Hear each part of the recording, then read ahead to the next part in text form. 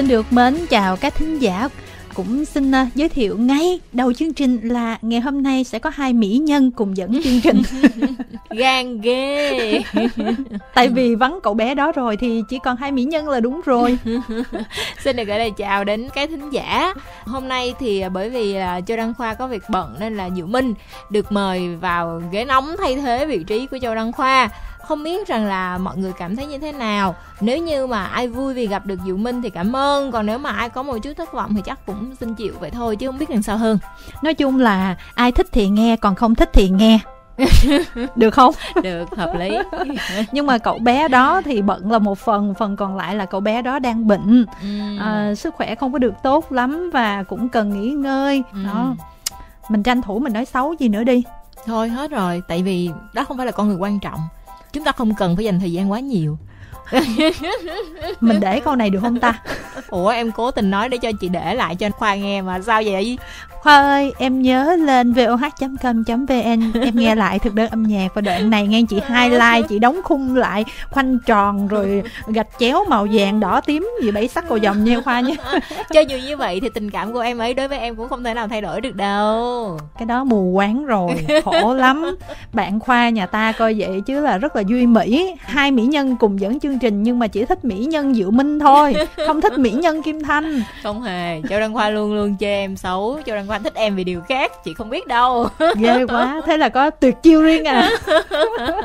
Tóm lại thì à, ngày hôm nay khi đóng vai của châu đăng khoa thì diệu minh có chặt chém được như là châu đăng khoa hay không? Xin được khẳng định luôn một điều là diệu minh sẽ không bao giờ làm được như châu đăng khoa bởi vì một cái người mà mạnh miệng và thẳng thắn như châu đăng khoa chúng ta tìm cũng hơi hiếu chưa kể là về mặt chuyên môn thì châu đăng khoa sẽ có những cái nhận xét nó thuyết phục hơn. Còn hôm nay thì diệu minh gọi là không tới nỗi là cốt mắt của mọi nhà như là mọi khi dẫn với lại châu đăng khoa nhưng mà mình cũng sẽ ở mức độ vừa phải thôi ừ. Ừ. với lại ở một góc nào đó thì thật sự là diệu minh không có mua vui được bằng châu đăng khoa rõ ràng nhất yeah. Dạ. là những cái câu chuyện mà không liên quan đến âm nhạc đang nói chuyện này châu đăng khoa sọ vào chuyện kia đúng nhưng... rồi nói ừ. chung là kể chuyện đời tôi á ừ, thiếu điều là thật đơn âm nhạc sắp sửa trở thành cuốn tự truyện thứ hai của ảnh luôn á nhưng mà dù sao thính giả cũng thích những cái điều đó mà nhưng ừ. mà thông thường khi mà chúng ta thích cái gì đó mà lâu lâu chúng ta vắng đi một thời gian không có được cái đó thì chúng ta lại cảm thấy nhớ nhung cho ừ. nên là bây giờ tuần này không có cho đăng khoa thì tuần sau cho đăng khoa tái xuất cùng với diệu minh lê thì biết đâu cái lượt nghe nó sẽ tăng lên gấp bội cho yeah. nên là khoa yên tâm nha sức hút của em vẫn còn đó yeah và bây giờ sẽ là list của tuần này. Đầu tiên là ca khúc Khi người con gái cô đơn, một sáng tác của Andy với sự thể hiện của Gigi Hương Giang. Gigi Hương Giang là thành viên của team anh hai Lam Trường trong cái mùa The Voice mà anh hai ngồi cùng với lại à, Thu Phương, Nu và Tóc Tiên, đúng không? Trước đó thì là cũng The Voice, team của Hồ Ngọc Hà của năm 2012 là hai lần đều lọt vào vòng trong hết luôn. Đúng rồi, 2012 ừ. thì team của Hà và đến 2018 là team của anh Lâm Trường. Ừ. À, Diệu Minh có Facebook của Gigi Hương Giang và cái điều mà ấn tượng cũng giống như là chị Kim Thanh đã từng nói với Diệu Minh đó là uh, Gigi có một cái body rất là chuẩn chỉnh luôn á mọi người mà lên Facebook của Gigi Hương Giang sẽ thấy những cái tấm hình bãi biển rất là đẹp đẹp rất là nóng bỏng đúng rồi chỉ có điều là cái phần gương mặt á thì cái gương mặt của Gigi Hương Giang hơi cá tính một chút xíu. Nó hợp với lại những cái thể loại âm nhạc cần phải hơi chất chất một chút. Gai góc một ờ đúng rồi chứ cái nét mặt đó không phải là cái nét mặt mà kiểu mà bạn của mọi nhà mà mọi người hay là quen thích. Lâu rồi Gigi không có một cái ca khúc nào hết. Ừ. và đây được xem á là một cái ca khúc tạm gọi là comeback. Và ừ. sẽ có một cái đường hướng về âm nhạc cho nó dài hơi hơn và tuần trước thì Gigi cũng có qua đài để chia sẻ những cái câu chuyện của mình và cũng kể một số cái câu chuyện khó khăn ở phía bên trong hậu trường. Sau đó nói lần này em sẽ quay trở lại và chắc chắn là em biết cái phân khúc dành cho mình nó rất là ít. Cũng không có kỳ vọng là cái bài hát của mình được bao nhiêu người yêu mến, nhưng mà thôi, bây giờ cứ dò dẫm từng bước mà đi, chứ cũng không biết là phải làm như thế nào. Bởi vì à, gọi là tiền thì à, cũng không có nhiều và âm nhạc. Bây giờ muốn làm cho chất thì phải có ekip giỏi mà cũng phải có tiền nữa. Nói chung đó là một cái bài toán, kim thanh nghĩ là không phải chỉ gigi mới đối mặt mà rất là nhiều ca sĩ hiện nay cũng phải đối mặt với cái điều đó. Nhưng mà như vậy, cái sự comeback lần này nó có khác gì so với lại các sản phẩm trước không? Ví dụ như là thay đổi về ekip hoặc là về công ty quản lý hay là về chiến lược truyền thông gì đó chẳng hạn bởi vì nếu như comeback nhưng mà bản thân mình không có gì thay đổi hết chỉ có là mình hát khác một bài hát mới thôi thì cũng khó à. Theo Gigi chia sẻ là đã có tìm được một ekip cho mình rồi. Ừ. và ekip toàn là những bạn cũng mới thôi còn về công ty thì từ trước giờ thì Gigi không có trực thuộc một công ty nào cả. Ừ. chỉ có là ví dụ như lúc này là người quản lý này lúc kia là người quản lý kia. Và theo Kim Thanh biết là bây giờ hình như là có một quản lý mới thì phải. Thì hy vọng là người quản lý mới đó với lại cái ekip mà Gigi vừa tìm được có thể là hỗ trợ cho bạn tốt hơn. Với cái bài hát này á, thì cá nhân em thấy là nó cũng chưa đủ để mà Gigi có thể cạnh tranh ở trên thị trường tại vì uh, âm nhạc thì cũng vừa phải. Andy thì uh, mọi người biết là năm ngoái Andy rất mát tay với rất là nhiều những cái uh, bản uh, hit hot. Nhưng mà bài này thì nó cũng bình thường của Andy thôi không có cái gì quá đặc biệt hết. Ừ. phần MV cũng vậy nên là Hương Giang cần phải suy nghĩ đầu tư hơn để mỗi một sản phẩm ra mắt phải có điểm nhấn hơn kim thanh biết câu chuyện này nó cũng khó chứ không có dễ ừ. nhưng mà cá nhân kim thanh thì cái đoạn đầu thì nó cũng hơi bình thường nhưng mà cái đoạn điệp khúc thì cũng dễ nghe Vâng, chúng ta đến với một nữ rapper đang rất là hot trong thời gian gần đây thông qua một cái ờ, chương trình truyền hình thực tế về rap. Đó là Pháo với ca khúc Điêu Toa kết hợp cùng với ờ, producer là Masiu thật ra thì không cần phải qua chương trình truyền hình thực tế về rap thì mọi người mới biết đến pháo. Mà trước đó thì pháo và ma siêu cũng đã từng à, tấn công các bảng xếp hạng với ca khúc 2 phút hơn. Và mọi người đánh giá là đây giống như là một cc thứ hai. Cái phiên bản mà cũng khá là đặc biệt và càng bất ngờ hơn khi mà biết là pháo rất là nhỏ. Hình như là lúc mà ra mắt bài 2 phút hơn là pháo mới học lớp 11 sinh năm 2002 hay sao á. Nhỏ xíu siêu siêu luôn á. Mà viết âm nhạc thì khá là gai góc. Diệu Minh á may mắn là không rơi vào cái tuần mà cách đây cũng ba bốn tuần gì á Kim Thanh với Châu Đăng Khoa có làm một cái list. Thì cái tuần đó vô tình á là giới thiệu hai sản phẩm của hai bạn bước ra từ các cuộc thi âm nhạc nhí. Ừ. cùng một lúc luôn cả hai bạn đó. Và hai bạn đó đều sinh năm 2005 xong Kim Thanh có nói với Châu Đăng Khoa là Khoa ơi bây giờ trở đi list thực đơn âm nhạc thì chúng ta phải chấp nhận là à mình phải làm quen với những gương mặt kiểu như thế này rồi bắt đầu là, không phải là kim thanh với diệu minh à, nhận xét cho các bạn nữa mà là cô kim thanh cô diệu thôi, minh thôi, nhận xét thôi, cho bỏ, các bỏ, cháu. bỏ, bỏ, bỏ, bỏ, bỏ. đừng làm nỗi đau thêm dài.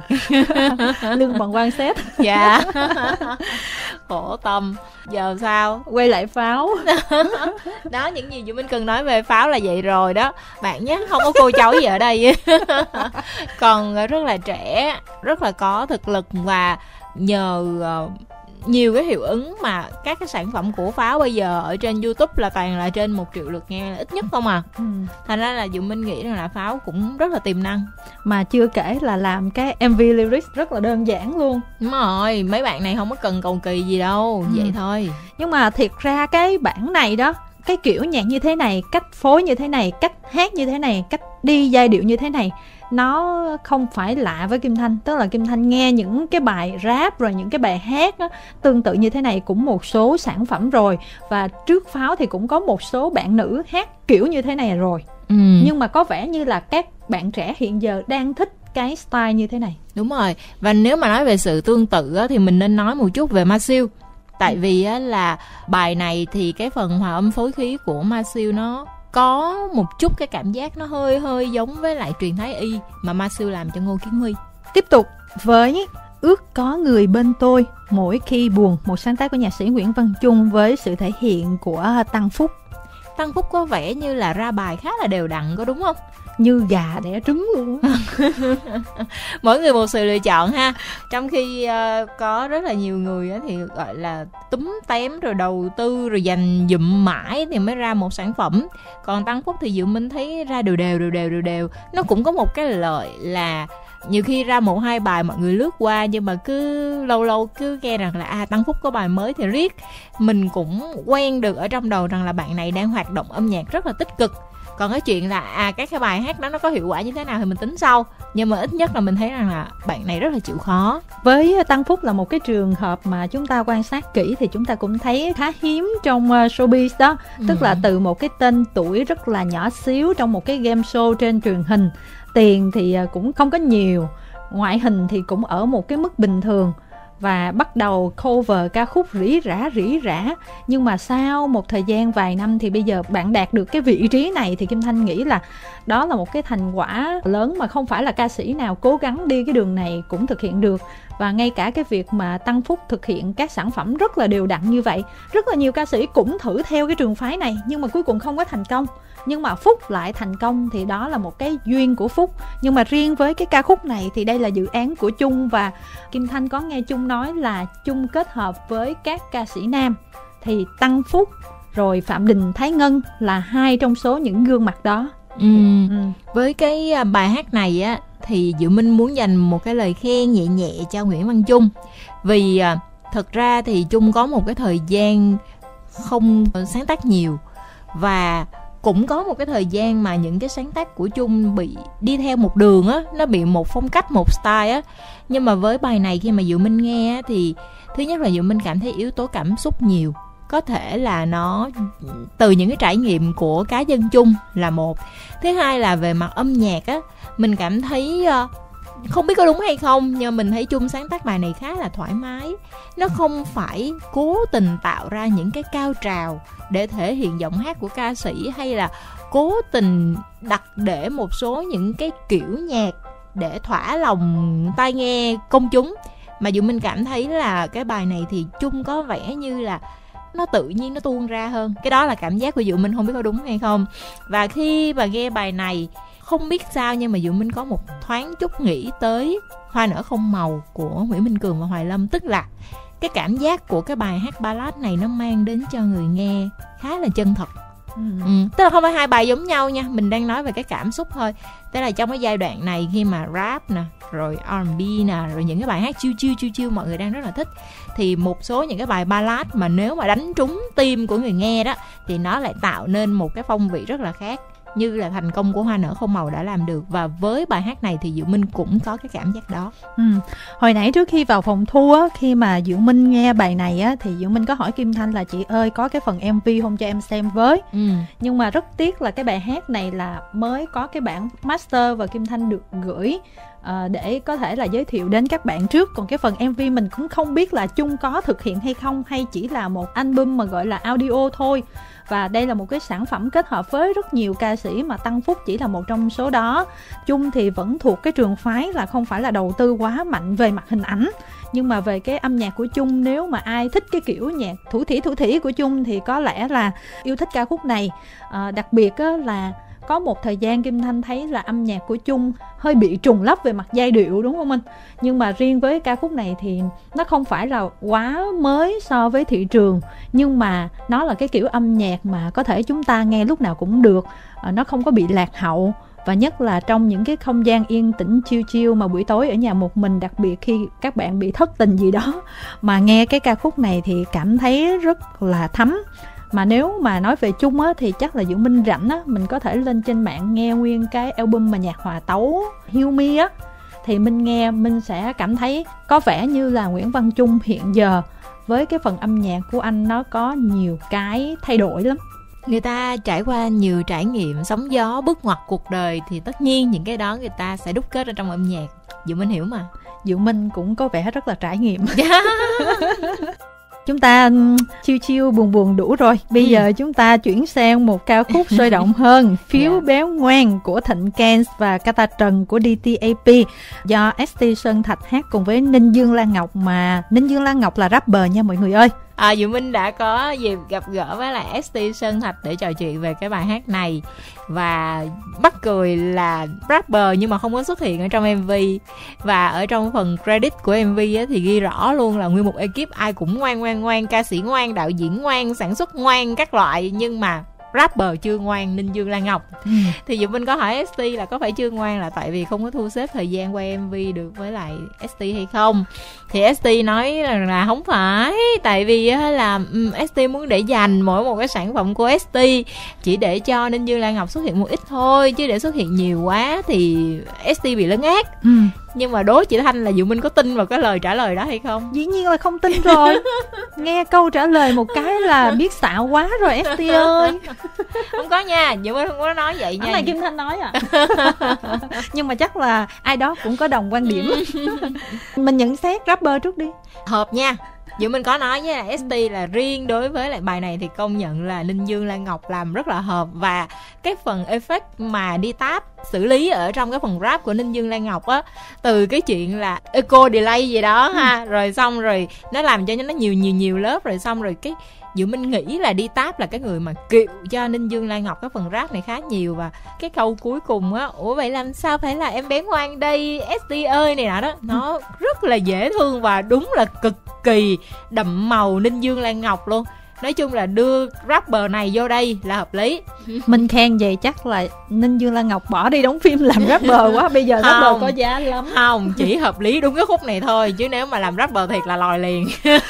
Kim thanh nghĩ st á mời ninh dương lan ngọc với vai trò rapper á, là sau khi ninh dương lan ngọc tung ra cái mv cái mv gái già lắm chiêu á. À. tức là trong cái mv đó em em ơi em ơi em à à, cái gì em ở đây quá nà vậy đó nói chung là ninh dương á hát nhưng mà nghe giống như là đọc vậy đó thành ra là st kiểu như là à thì ra là ninh dương lan ngọc nó hợp với kiểu này cho à. nên là mời làm rapper thì mình thấy cũng có lý ừ. nhưng mà lúc đầu á kim thanh là chưa có đọc cái phần thông tin thì chỉ mở mv ra xem thì thấy tới cái đoạn á rapper nữ mình nói ủa sao giọng giống giọng của ninh dương lan ngọc quá ta? Ủa mà sao cái mặt của ai vậy ta? Mặt của võ hoàng yến. Thì đó mình nói ủa phải mặt của võ hoàng yến không? Mà tại sao giọng võ hoàng yến kỳ cục vậy? Tại à, võ hoàng yến giọng rất là khào. Ừ. xong đó mình kéo xuống à hóa ra là mặt người này mà giọng người kia. Ừ. còn với cái phần mv á ừ. thì thú thật là st cũng đầu tư rất là nhiều sản phẩm mà có những sản phẩm mình nghĩ là cộng hết cả dự án lại chắc phải tiền tỷ chứ không đùa nhưng mà cho đến cái mv phiếu bé ngoan này thì kim thanh mới cảm thấy là thích. Tức là kim thanh thích mv này nhất trong tất cả các mv solo của st từ trước cho đến giờ luôn. Đúng rồi.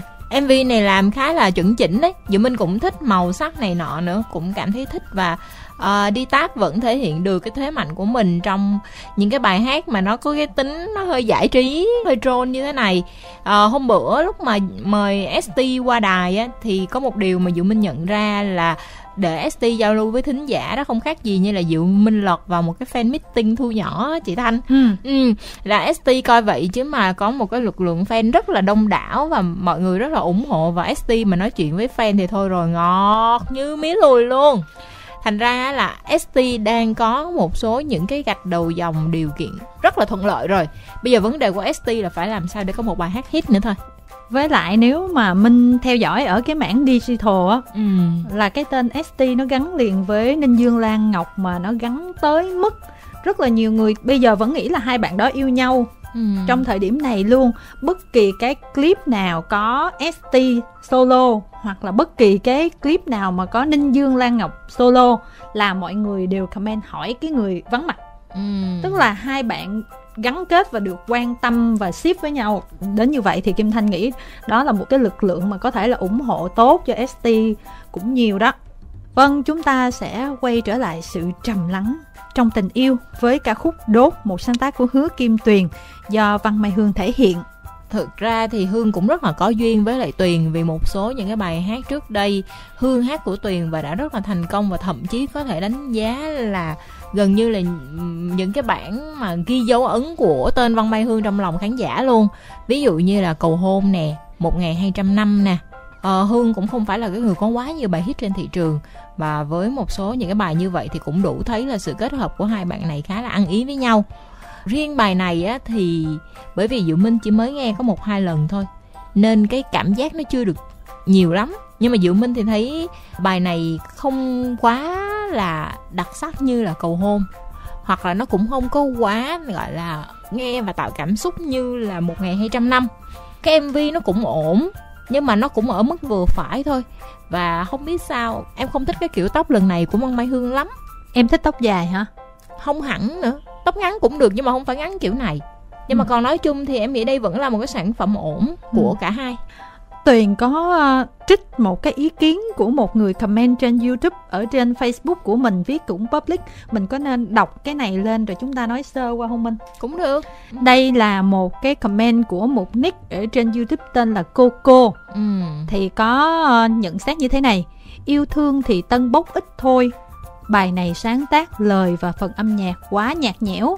Nhạc gì cả bài không có được câu đắt giá, cũng không có điểm nhấn. Phần nhạc cứ tuồn tuột trôi đi, thậm chí lời nghe còn thô kệch cục mịch. Gọi thế nào là thẩm mỹ âm nhạc, thế nào là văn minh nghệ thuật. Giọng thì rất hay, làm ơn lựa chọn bài hát hoặc lựa chọn nhạc sĩ có tầm một chút mất công lên MV hãy làm cho tới. Ca sĩ không chỉ dựa vào giọng hát và kỹ thuật tự nhiên, rồi xem nhẹ phần âm nhạc, lời nhạc, phối âm hay là phong cách. Con đường không ai đi không phải luôn là con đường tới thành công mà có khi là ngõ cụt. Làm nghề bao năm rồi, giọng hát càng lúc càng hay, mà lựa chọn âm nhạc, nhạc sĩ càng lúc càng tệ, tỉnh ngộ đi âm nhạc tới được với nhiều tầng lớp mọi người mới có giá trị cao chứ cứ ôm khư khư cái nghệ thuật vốn dĩ không có thước đo chuẩn mực thì ôm gì nếu âm nhạc bạn có sức lan tỏa chạm tới nhiều người nhất đó chính là khi sức ảnh hưởng của bạn tăng và giá trị âm nhạc của bạn tăng. Top trending đương nhiên không phải đánh giá thực lực ca sĩ, nhưng sao không đầu tư kỹ hơn để có được top trending? Và hứa kim tuyền cảm thấy rất là tổn thương bởi vì cái phần nhận xét này nó chủ yếu tập trung vào phần sáng tác của hứa kim tuyền và hứa kim tuyền cũng viết một cái status dài không kém, thậm chí là dài hơn để nói về cái yếu tố này ừ, chị thanh đọc cái comment đó xong rồi chị thanh thấy như thế nào thật ra là mình cũng hiểu được cái ý của người này là cái gì à, bởi vì văn mai hương tính ra thì cho tới bây giờ gọi là hit thì có nghe nhưng mà gọi là hit đỉnh như ngày xưa mà mới thi việt nam idol á là không có bài nào đạt đến được cái mức Nếu như, như vậy anh đến á. Ừ. ừ. rồi à, à, văn mai hương lại có một cái gu cái này là kim thanh nghĩ là gu cá nhân á về cái sự lựa chọn âm nhạc. Văn mai hương thích những cái gì đó nó hơi jazz, hơi blue hay là những cái thuộc về cái kiểu retro.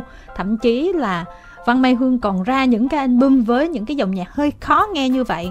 Và Hứa Kim Tuyền á, là nhạc sĩ có thể là viết theo cái kiểu đó đúng ý với Văn Mai Hương. Đó là lý do mà hai bạn có thể kết hợp với nhau cho đến tận bây giờ.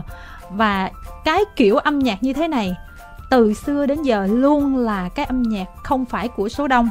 Tức là ai nghe lâu nghe nhiều thì có thể thấm nhưng mà nếu mà mình nghe vài lần thì rất là khó để ngắm. Đó là nói về chung về cái trường phái âm nhạc của văn mai hương chọn. Còn riêng cá nhân cái bài này thì kim thanh đồng ý với phần nhận xét lúc nãy của diệu minh. Chị thanh đã nói về cái mặt mọi người có thể hiểu rằng là đúng hay sai về mặt nội dung của comment đó. Ừ. còn diệu minh thì đang tò mò một chút về động cơ tại vì là một cái comment dài như vậy. Và thì, viết theo kiểu đó. đúng rồi thì thứ nhất là mình hiểu rằng là đây là một người có tư duy có quan điểm chứ không phải là kiểu mà anh hùng bàn phím chỉ có vô chê dở quá xong rồi thôi hai ừ. ba chữ rồi rồi thôi. Cái này có ý đồ đàng hoàng. Nhưng mà Dụ Minh à, xin lỗi bạn nào nếu như mà là comment như vậy. Nhưng mà Dụ Minh nghĩ là nó hơi có tính công kích cá nhân một chút nếu như mà mình góp ý theo tinh thần xây dựng nó sẽ khác. Còn cái này thì có lẽ là vì một lý do gì đó mà Diệu Minh có cái cảm nhận rằng là cái người góp ý này không có cảm tình với nhạc với, sĩ với nhạc sĩ và ca sĩ hay không thì không biết mình nói chung chung như vậy nhưng mà là không có cảm tình với lại cái ekip này nhạc sĩ ca sĩ luôn. Thì à, cũng được thôi đó là cảm xúc của mỗi một cá nhân mà không sao cả. Ờ, nhưng mà tuyền á cũng uh, nhạc sĩ. Mong manh thì dễ bị tổn thương đúng rồi. Mong manh dễ vỡ. Ừ, nhưng mà thôi một khi đã chấp nhận là người của công chúng thì mình cũng nên chấp nhận là sẽ có những người thích mình và những người không thích mình. Và trong những người không thích mình cũng sẽ có những người họ có lập luận rất là sắc bén. Nhưng mà góc nhìn của mỗi người nó khác nhau lắm âm nhạc nó thuộc về cảm nhận. Khó có thể nào bảo rằng là mọi thứ đều đúng và những cái câu mà như kiểu là không có điểm nhấn hay là nhạt nhẽo hay là này nọ kia đó nó hoàn toàn chỉ là chủ ý của một cá nhân chứ không thể nào đại diện cho tất cả được đó là một cái sở thích của riêng người đó đúng thôi. rồi âm nhạc không bao giờ có đúng sai chỉ là thích hay không thích thế thôi thích thì nghe không thích thì nghe chúng ta tôn trọng ý kiến của mỗi người thiệt ra kim thanh nghĩ là nếu mà tác giả của cái ờ, comment này á ừ. nếu mà thật sự muốn góp ý cho phần âm nhạc cũng với cái ý tứ đó nha. Ừ. mình có thể viết khác và có thể là hứa kim tuyền cũng sẽ đăng status lên và cảm ơn rất nhiều. Bởi vì đôi khi cái cách góp ý nó rất là quan trọng. Thì đúng rồi một bên là xây dựng một bên là đạp đổ thì nó khác tích cực và tiêu cực là nó khác nhau rồi. Có một cái câu nói như thế nào ta? Chúng ta hãy giữ bạn chúng ta ở gần bên chúng ta nhưng mà giữ kẻ thù gần hơn nữa. Để chi những người đó mới chính là cái động lực để cho chúng ta phấn đấu, để chúng ta tốt hơn và chúng ta phải làm những cái tác phẩm, những cái sản phẩm ngày càng hay hơn nữa. Và trong những cái phần góp ý như thế này thì có thể là đúng hoặc là không đúng, nhưng mà đó là một cái yếu tố để mình cũng có thể nhìn lại bản thân để mình làm sản phẩm sao tốt hơn. Và chúng ta có thể là, đó, nói tôi đi, nhưng mà cuối cùng tôi vẫn thành công đó, tôi vẫn ở vị trí đó thì làm gì được tôi đúng không? Một ca khúc tiếp theo của thực đơn âm nhạc ai mang cô đơn đi một sự kết hợp của producer KICM và gương mặt mới của công ty ICM là APJ Trước APJ thì à, công ty ICM cũng đã lăn xê một loạt những cái gương mặt trẻ như là Quang Đông nè, Huyền Tâm Môn Đại khái là như vậy Sinh năm 2003 Nhưng mà cho tới giờ này thì vẫn chưa ai có thể bật lên được Chứ đừng nói là so sánh với lại Jack ừ. Mặc dù là mình nhìn vô thì mình biết ngay rằng là công ty vẫn muốn đạt được một cái mục tiêu là một cái talent nào đó có thể thay thế được như là Jack trước đây Talent dựng... duy nhất, nổi bật nhất của công ty ICM hiện giờ vẫn là KICM. Dạ. Yeah để gọi là sao build lên một cái nem mới đâu có dễ dàng gì. Kể cả như một công ty ờ, có rất là nhiều lợi thế hiện Gọi nay là, là một cái hệ sinh thái đi. Đó là MTP Entertainment thì mọi người biết là thời gian vừa qua cũng đã giới thiệu đến công chúng rất nhiều những gương mặt talent ở trong công ty và ở mảng ca sĩ là có Kay Trần. Nhưng mà cái Trần có được trở thành như là Sơn Tùng hoặc là 8 phần 10 của Sơn Tùng hay không nó là một bài toán rất là sao ta bí ẩn. Không thể nào mà bất cứ ai có thể chắc chắn một điều gì cả. Với cái bài này thì thật sự ra mà nói là lúc mà quang đông là cái gương mặt đầu tiên mà icm giới thiệu ừ. sau khi check rời công ty á là cái bạn mà được chú ý nhất luôn á. Và hình như là đâu đó tuần đầu tiên hay tuần thứ hai gì đó ra mắt mà một cái bài hát của bạn được đến 11 triệu view. Em nhớ mang máng đâu là như vậy rồi rốt cuộc là bây giờ là ừ, mọi người quên mất bạn rồi. Mà cái bài đó là mình tính ra là nghe còn bắt tay hơn cái bài này á. Nhưng mà ở một cái góc để gọi là thư giãn mà nghe nhạc đơn thuần thôi á ừ. thì ờ, cái bài này nó cũng dễ nghe chứ không phải là quá khó nghe và giọng hát của bạn này thì cũng ở một cái mức là nghe được. Nhưng mà chị Thanh ơi bài hát mà ở dạng dễ nghe á một tuần á có khoảng 6 đến 7 bài. Thiệt ra là kim thanh nghĩ là bên công ty icm hiểu điều này cho nên với cái sản phẩm của apj này thì lại không có đầu tư mv mà chỉ có phần mv lyrics rất là bình thường. Cũng không thấy đi truyền thông gì.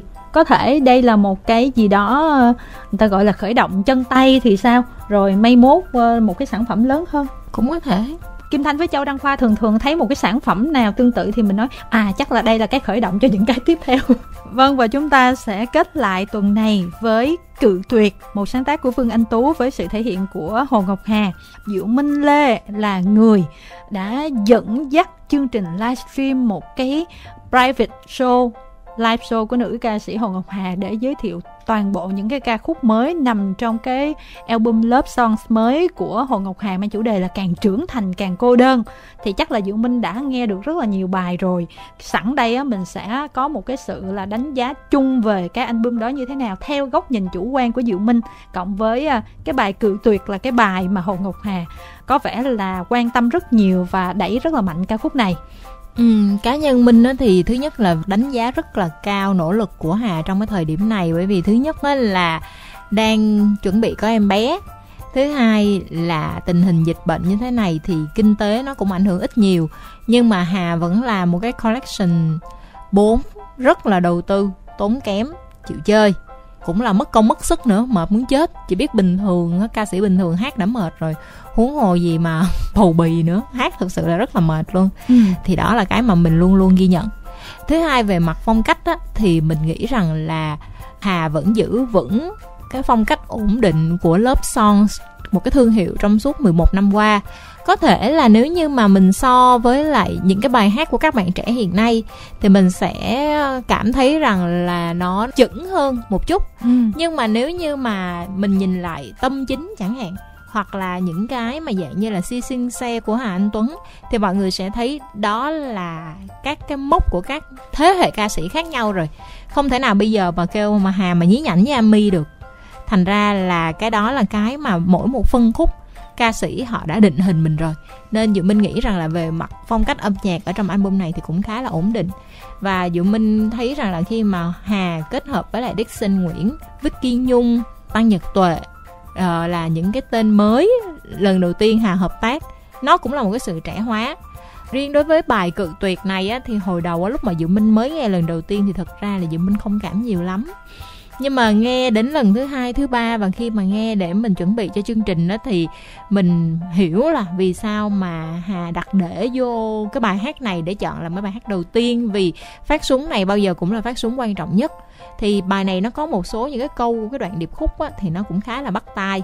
Tuy nhiên nếu như mà nhìn và so lại với lại một số những cái bài hát của Vương Anh Tú thì cái bài này nó sẽ hơi hơi một chút xíu giống với lại hết thương cạn nhớ của Đức Phúc. Ừ. mà đó là cảm giác của Dụ Minh. Nhưng mà bài này để chọn là bài mở màn thì Dụ Minh nghĩ là cũng có cái lý do của nó. Khi mà nghe trọn bộ cái album này ấy, thì cái cảm xúc của Kim Thanh thì cũng giống như là Diệu Minh vừa đề cập.